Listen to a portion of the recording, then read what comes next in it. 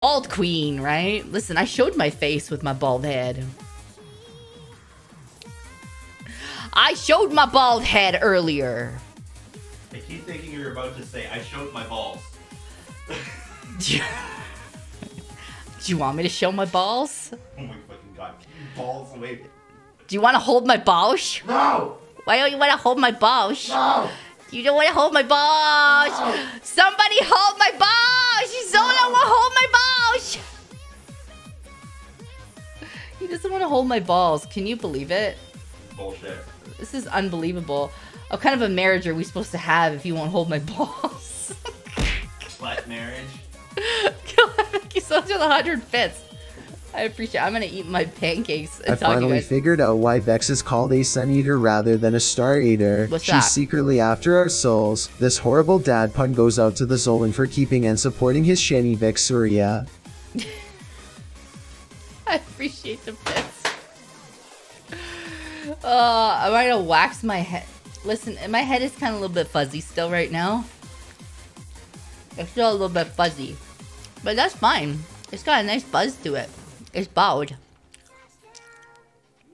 I will. You guys are eating breakfast with me right now. We're having a nice breakfast date. I hope you don't mind. I have to eat because I have to take advantage of the fact that I can still eat.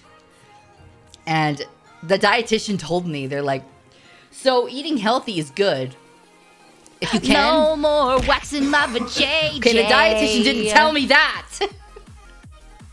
But the dietitian told me, you know, if you can eat healthy, eat healthy, but also if you just want to eat, then just eat. So, as a connoisseur of, you know, all things yummy, I said, hell yeah.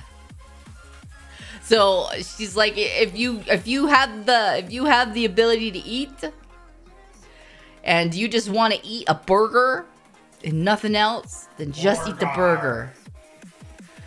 Because it's better to have something than have nothing. So right now we're having a breakfast Did date you see it? with pancakes because I feel like we deserve to have a breakfast date together. This is what we're gonna do. This is our breakfast date. And I was thinking, maybe. What do you think? Aw, Hold on a second. Vexy, you're such a good I gotta throw girl. something at him. You finished all your sun. Now it's time for dessert.